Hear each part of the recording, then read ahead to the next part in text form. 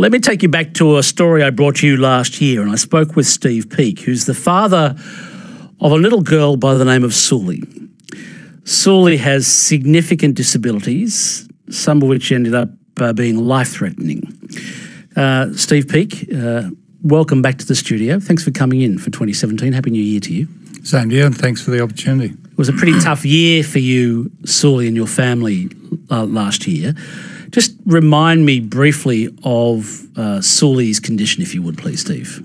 Sully has an undetermined complex neurological disorder and refractory epilepsy. Um, refractory epilepsy is that uh, they don't respond to medical treatment.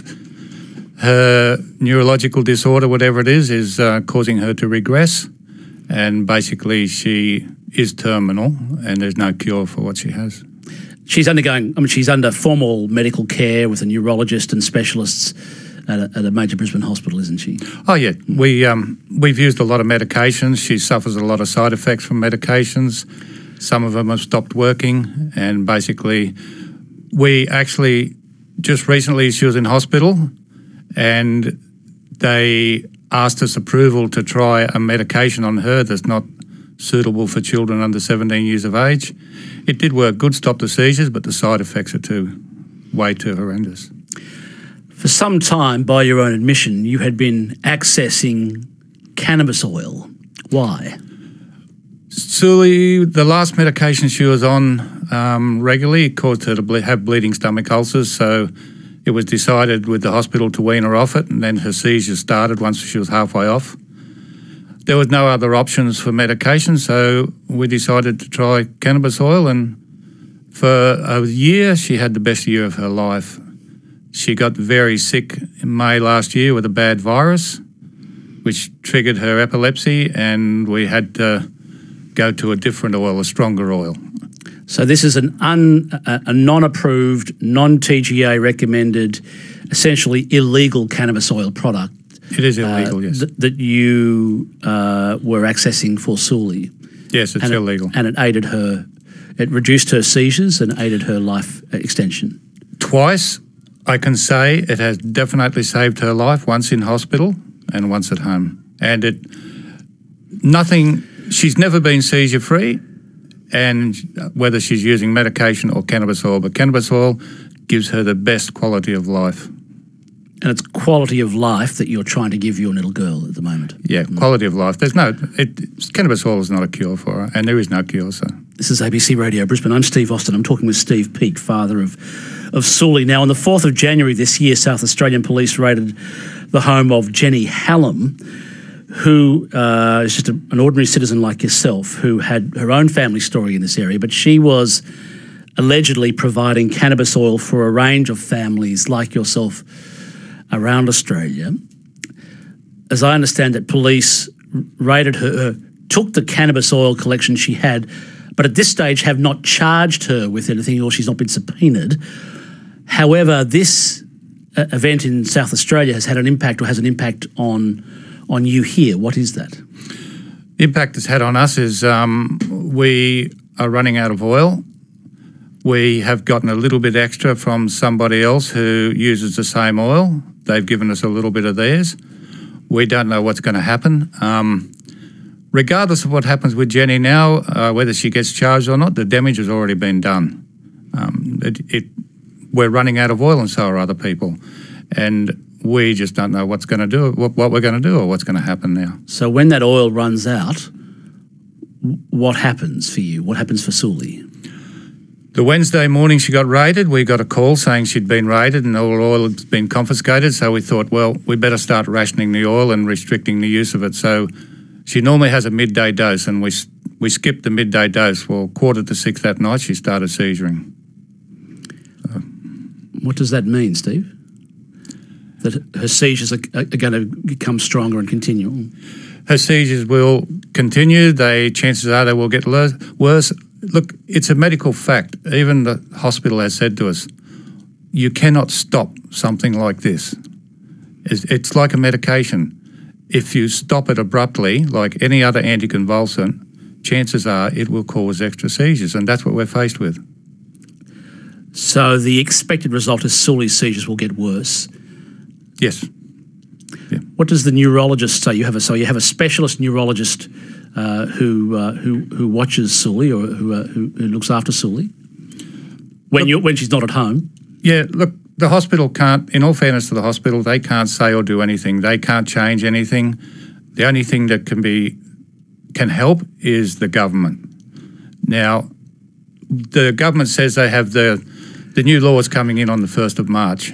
I spoke with the Premier, Annastacia Palaszczuk, this morning and asked, asked her directly if she was happy with the new medical cannabis laws that come in on the 1st of March, and she said her government has done something about it. Okay, what they've done is absolutely nothing. I'm sorry. Now, there was a, um, a steering committee which was advising the government on medical cannabis and advising the government on the decisions they make. Now, on that steering committee, there was not one family member, not one person who's using medicinal cannabis. I spoke. But you're not qualified. I mean, you'd expect. I mean, wouldn't you expect qualified, you know, medical, scientific, pharmacological specialists to be on a steering committee of that sort? Yes, but the the thing is, we are the stakeholders, and nobody has been using it. Nobody nobody knows much about it. Like you can ask a specialist about it, and they know nothing about it. Now, I asked our daughter's specialist the other day on the second of March, "Will you write a prescription for my daughter for medicinal cannabis?" And they This is said, after the new legislation kicks in. Okay, here in on- Queensland. Yep. They said no. The reason why they said no is they know nothing about it. Um, how can they write a prescription for something they don't know where it comes from, what it is? We also have to provide scientific evidence that that product will be of benefit to our daughter. Where's the scientific evidence of a product that you're not using that you don't know anything about? Well, as I understand it, you can access uh, medical cannabis oil from Canada and one of the European countries that is approved by the Therapeutic Goods Administration. Why don't you consider that? um, cost. All families have to bear the cost. It's also a very long process um, to go through to try and get a medication which you don't even know if it's going to work anyway. And also, the clinical trials they're running, um, we've been advised by Cameron Dick through you to put our daughter on the clinical trials. Well, she has to go off the product she's using for, they have to have a washout period of a month. So she'll have nothing for a month to go on the trials, which is CBD only, and all the research shows that CBD and THC are the two that's needed. So the active ingredients uh, in the cannabis oil uh, is what uh, alleviates or eases the symptoms for Yeah, for, door, for for people like your little girl. yeah, yep. So what does this mean? So the state legislation in Queensland won't actually solve or help your daughter's situation. It looks like it won't help anybody. Now, this is not new. It's always been there that you've been able to uh, apply through the TGA for for an unapproved product. So it's not new legislation. It's it's always been there, but we we don't know what's going to happen. Um, what the government's done is they've also increased the penalties for people who will who are producing or using an unapproved product. So this is one of the reasons why your neurologist uh, wouldn't won't sign anything because they, it's an unapproved product, so they could be charged under Queensland's legislation. Well, the product that our daughter's using, yes, it's it's a, it's what makes And you could be charged as well, Oh, yeah. Stephen, as, as We- Sully's father. We could be, yes, and um, who knows what will happen after the first of March, whether we will be or not. So no change after the the, the, the the Queensland legislation was brought in that mirrors the federal uh, laws. There's no real change for your little girl. No, and to import a product, there's been figures thrown around of three thousand US dollars, five thousand US dollars a month, and the government's made it quite clear that families have to bear all the cost. I, I mean, I, I know you did a lot of searching in relation to this. Is- Are there any scientists or researchers in Queensland that have the required knowledge or specialty area experience in this area here in Queensland? No, I don't think so. I don't know of any. Um, there's the Lambert Initiative down in um, New South Wales, um, which was funded by Michael Lambert with, I think, it was $37 million. Okay. So how much does the oil cost? What we're using? Yes, Nothing. nothing. Okay. This woman does it out of the kindness of her heart. Okay. So the cost of using the legal um, uh, uh, Canadian or European oils is prohibitive and takes too long uh, to get to a patient as far as you're concerned. Yeah, look, when our daughter's well, what we do at the moment with the oil we're using, when our daughter's well, we give her very small doses to because what happens is they build up a tolerance to any medication. So we keep the doses very small while she's well. So when she's sick, it gives us more room to increase the dosage. Now, under the under the government legislation, you will get one week supply, and then if the dosage has to change, you have to reapply again. And you have to reapply every 12 months. You have to go through that process again every 12 months.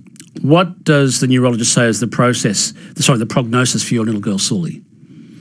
There is no cure. We've had we've had talks with the hospital about um, end of life, um, what what they should do, what we should do. Um, yeah, Okay. it's not a good. There, there's no cure for her. Right. Now, I understand you had uh, some sort of discussion, or it was Steve Dixon, the former LNP member, now joined One Nation, that sponsored a petition for you uh, on uh, Queensland parliamentary website. What was the nature of that petition? The petition was to try and get some form of amnesty granted so we could continue using the cannabis oil in the hospital. Okay. Um, there was over 2,000 signatories. The response we got was um, that the government has already introduced um, progressive legislation, and as of the first, after the first of March, we should apply for a legal product. All right. Now, you've been trying to get a meeting, I think, with the Premier, the Deputy Premier, and the Health Minister uh, to no avail so far. Is that right? Yes, numerous emails have been sent off. Okay. Well, uh, the Premier told me this morning that she'd make sure that she uh, would be happy to see you. She'd see you this week. Uh, so at the very least, you'll be able to uh, meet the Premier. Um, I'll be keen to hear what comes of that meeting. Steve Peek, thanks for coming in. Thank you very much for the opportunity. That's Steve Peek, the father of Sully. Now let's go to Steve.